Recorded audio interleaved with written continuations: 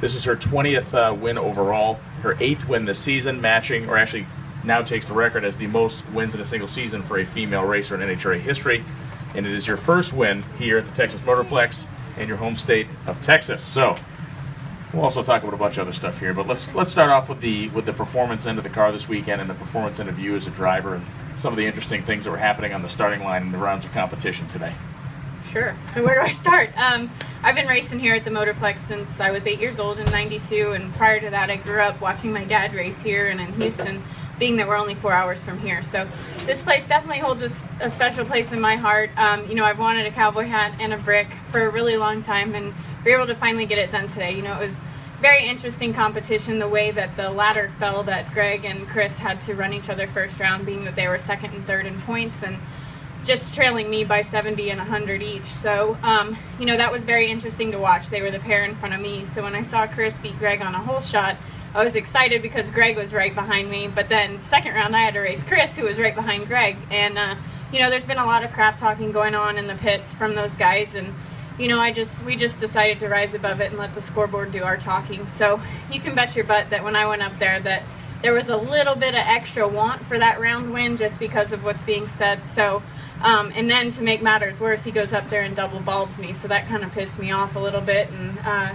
allowed me to be double 08 on the tree. So um, we were able to send them packing, which was a huge round for us. And then after that, it, it just became, you know, fun again. You know, it's, it's always fun. I didn't mean to say that, but you know, it takes a little bit of the pressure off. You can take a little bit of a breath and just enjoy the rest of our day. And, you know, it showed in my performance actually. You know, I knew I missed the tree in the semis, and I knew I really missed it in the finals when I unclutched it. And I was like, man, come on, elite performance horsepower. And thankfully, we, we were able to get around Jonathan down there just by two thou, but that's not typical of me on the starting line. And I'll get my act together and be back in Vegas you know there is palpable tension, and not not just amongst your between your team and other teams, but everybody. You know, yeah. there was a time when you kind of could figure out who was in the cahoots with who, but now it is a lot of tension. Has that has that caused not only your level but all the other teams to kind of rise? I mean, is it is that tension causing increased performance, if not on the starting line and on all aspects, I guess, of the teams?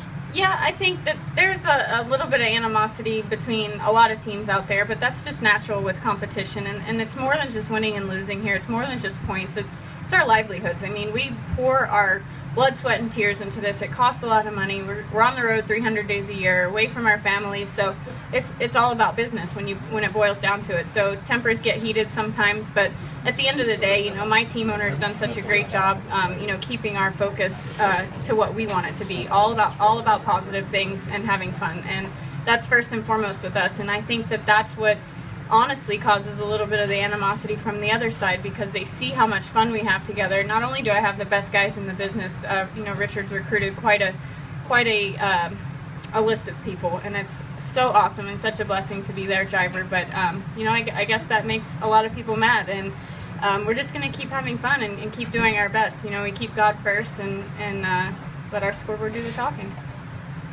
Questions? Did this kind of follow the uh, plot point of your uh, Disney movie?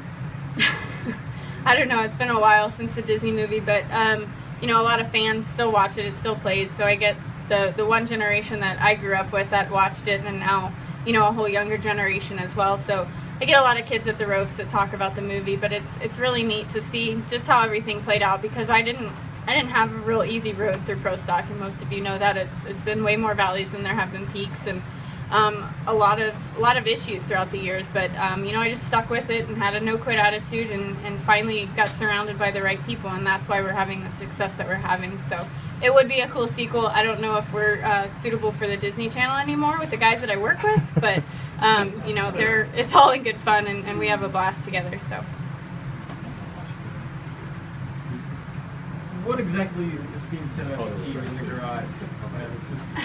It's really not. We're talking about, you know, it's, uh, you know, it's high school. I, I say NHRA it's like high school with money. It's crazy, but um, we, we don't have time for it. You know, I don't have time for it. My guys don't have time for it. So they can they can talk all of they all that they want. We'll just continue to work hard. When they're talking about us, we're working. So that we'll leave it at that and um, just keep plowing away.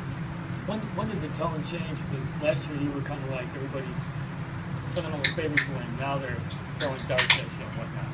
Too much winning? Oh, they are.